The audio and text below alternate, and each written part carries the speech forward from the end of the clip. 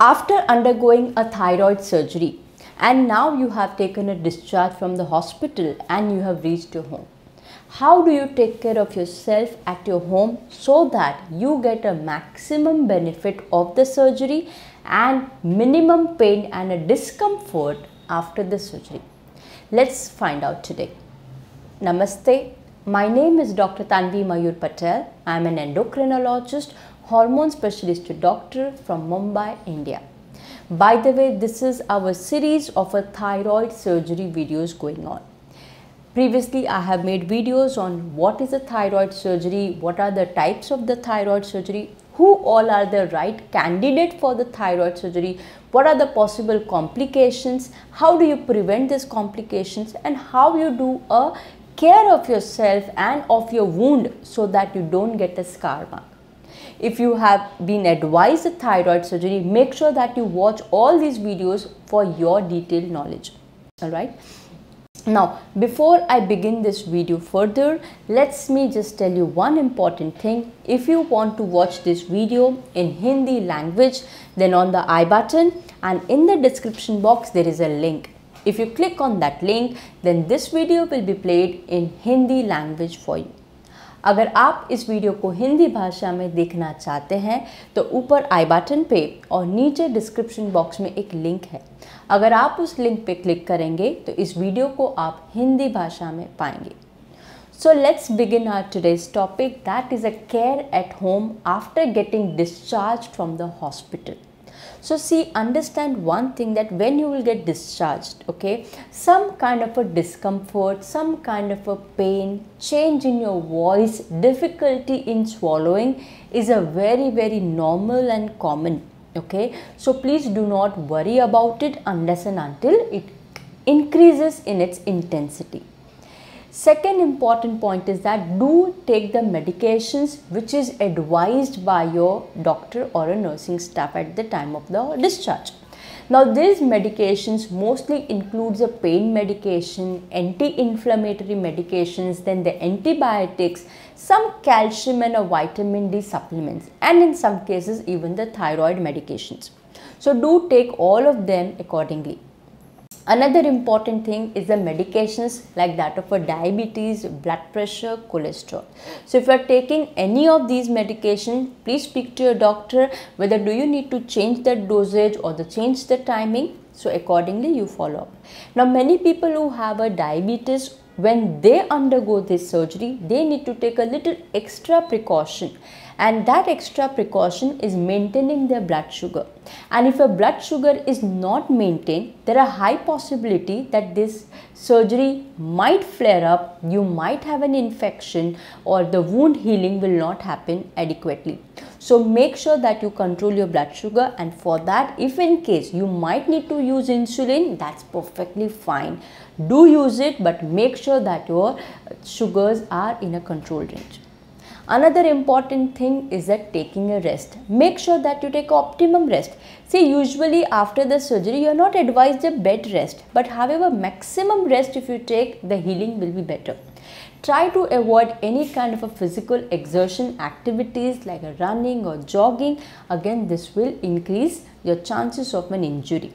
Talking about the injury, make sure that your wound is correctly placed in such a way that you do not accidentally cause a trauma to it. Now, very commonly trauma happens that's by the fingernail and if they get stuck, you know, it can create an infection. So, make a note of that also. Another thing is that when you're resting, make sure that you use at least two pillows beneath your head or else you can use a head elevation posture. This will ensure a better healing. So these are the certain general care which you need to take. Now we'll talk about a specialized care and that is a care of the pain. See understand that you undergone a major surgery so pain is definitely going to be there. However to reduce this pain your doctor might have advised you a pain killing medications okay? Now this painkiller medicines will usually subside not only a pain but the swelling all your discomfort and the inflammation.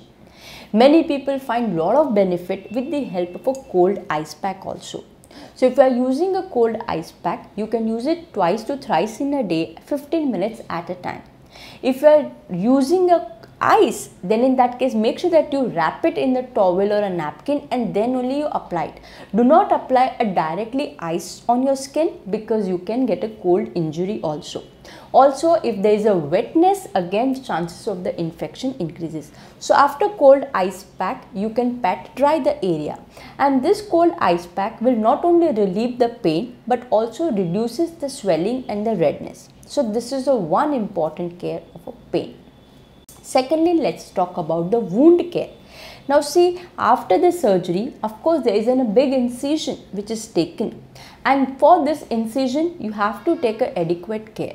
So when you will be discharged, there will be a dressing and these dressings are usually pressure gauze dressing. So you might need to change the dressing. How frequently you need to change the dressing? Again, it depends on individual to individual. So your doctor or the nurse will advise. If you are well versed with the dressing technique, you can do the dressing at home or if you do not know how to do it, in that case you can take a help of a home care nurse or you might visit to your doctor again who can do a frequent dressing. So this is the one part. Secondly, at the incision area, you might see that there is a special kind of a tubing and at the end of the tube there is a small cup like an area attached which is called as a bulb. Now what is the purpose of this? So see from the wound whatever excess of the blood or any fluid which gets uh, which gets secreted all of this gets collected in this bulb.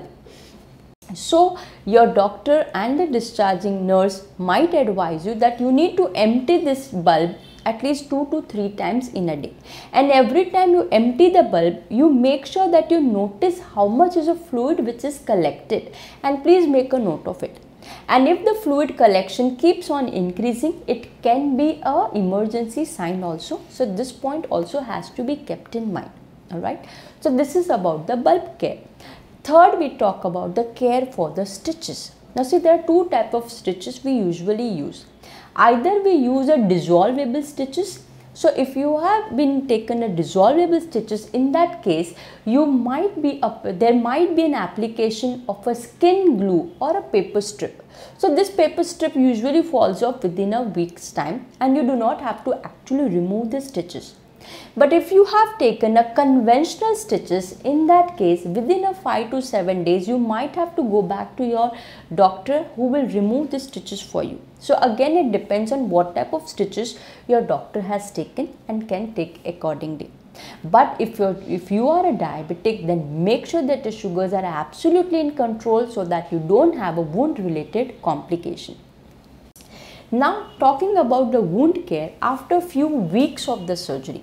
So usually within 2 to 8 weeks time, by this time your, your stitches has been removed or they have been dissolved completely, the bulb is removed, the dressing is removed. So now will be the time when you will actually see the scar mark which is an incision. So incision care is also very important. So after uh, uh, after removal of these uh, stitches and all, you can apply a antibiotic ointment or a soft Vaseline jelly over your scar mark so that it reduces the swelling and the discomfort okay? Now if you are going to go outside where there is a sun exposure to the area where there is a wound it is always advisable that you use a good sunscreen a sunscreen with a 50 to 60 spf is usually recommended now why do we say sunscreen because when the sunlight will fall onto your scar area there is a high chances of the skin tanning and if the tanning happens, the scar becomes more evident and cosmetically it does not look that good. So to avoid that, a sunscreen you can apply on a regular basis. Many people, especially women are very concerned about the cosmetic appearance of the scar mark. So in that case, you can use a special kind of a band-aid like a silicone band-aid. So you can apply it over the area and this will also reduces the appearance of the scar mark. By the way, below in the description box, I have left couple of links which can be helpful if you have take, undergone this surgery.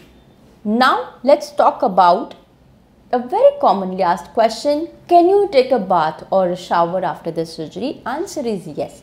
See initially for one or two days it is advisable that you take a sponge bath and you just wipe the area with a warm water or a cold water so that there is a no chances of the wetness and the increased chance of infection. But after that yes you can take a bath. So when you talk about the bathing we have to take there are two ways of bathing. Either you take a shower or you sit in a bathtub and take a bath. So avoid usage of the bathtub or swimming pool wherein your wound will be inserted into the water. The more the wetness more the chances of infection. So yes a conventional shower is advisable Again when you take a bath, shower, make sure that you do not scrub or rub the area because it will again cause a lot of irritation. And after the shower, make sure that you clean the area very well and you dry it properly. So again, this is very important. Now second common question is what you can eat after the surgery. See thyroid surgery is not a major surgery in terms of uh, you cannot eat certain foods yes you can resume eating all type of food very soon. However for initial few days uh, it is advisable that you use a soft or a cold food okay? Easily digestible food. So maybe you can have a vegetable soup you can have a chicken soup or you can have a lentil soup you can have a curd rice and you can also include lot of protein rich food like a yogurt or a cottage cheese See, after the surgery, your body needs a lot of protein for the improvement and the recovery. And for that, you can also try to include protein powders in your diet. Okay, so you can use all of that for the better recovery. Now, another important element in a diet is a vitamin C and a zinc. See, vitamin C and a zinc, they both are very important for the wound healing and a faster recovery. So, where do you get this vitamin C? So all the citrus fruits like a lemon water, then a gooseberry that's an Indian avla, then you can also get it from a, uh, orange juices you can include. However, make sure that if you are a diabetic, try to avoid juices as much as possible. Vitamin C is also quite high in a guava.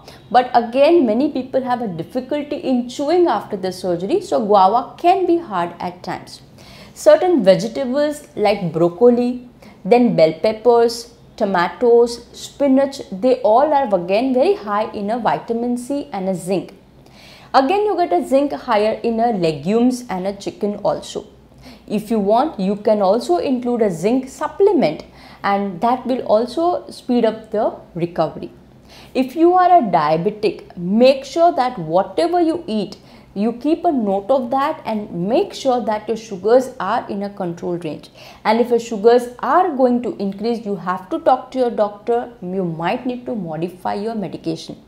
See when you have undergone a general anesthesia for the surgery and after the uh, surgery there's a stress creates. And this stress itself increases the blood sugar level. So you have to make a note of that you can also include a lot of berries like strawberries and blueberries and raspberries. Again, they are high in antioxidant and helps in a faster recovery. So these are the food items which you have to include. Try to avoid as much as a spicy and a masala food. Hydration is also very very important. Make sure that you have adequate amount of a fluid See, when you have taken a pain medications, so most of the time these medications creates a constipation. And when you are constipated and if you try for the motion and bowel activities, you can do a lot of exertion and which can create a trouble on your suture and uh, stitches. So constipation should not be there and for that you need to have an adequate amount of water. You can also include a lot of fiber in your diet. So again your bowel activities will be better. Now let's talk about the activity. See you can resume your activity very soon. However, when you resume the activity, try to avoid any kind of a strenuous body exercises like jumping or swimming in the uh, swimming pool. Try to avoid that. Restrict your neck movements. Now these neck movements very commonly happen when you drive, either driving a car or even a riding a bicycle or a motorbike. There's a lot of neck movement and this neck movement can also create an issue in your wound. Also when you are taking a medications, many people have a lot of sedative effect of those medicine and that can again put yourself in a dangerous situation if you are going to drive restrict uh, any kind of a physical and sexual activity for at least a week to 10 days again for the uh, suture and a better recovery purpose. Now let's talk about certain red flag symptoms which you need to keep a very close eye. So usually after the surgery, we advise a 1 to 2 day hospital stay. The major reason behind that is that uh, during your hospital stay, your doctor and your nurse will keep a very close observation and during this observation period, we will also watch out for these red flag symptoms. However, nowadays due to uh, shorter hospitalization and a daycare procedure, many people opt out to take a discharge earlier. So in that case, the observation becomes your sole responsibility. So what are the possible complications can happen? By the way i have made a separate video on a complication. You can watch that video so that you get a detailed information. What complications are minor and what complications are major. So talking about the major and some life threatening complications which you need to pay a very close attention. So suddenly if you find that your wound is increasing in size the redness is increasing the pain is increasing or the bleeding is more when you empty the bulb, you see lot of fluid collected in that bulb and you need to remo remove the fluid very frequently. This can be a watch out sign.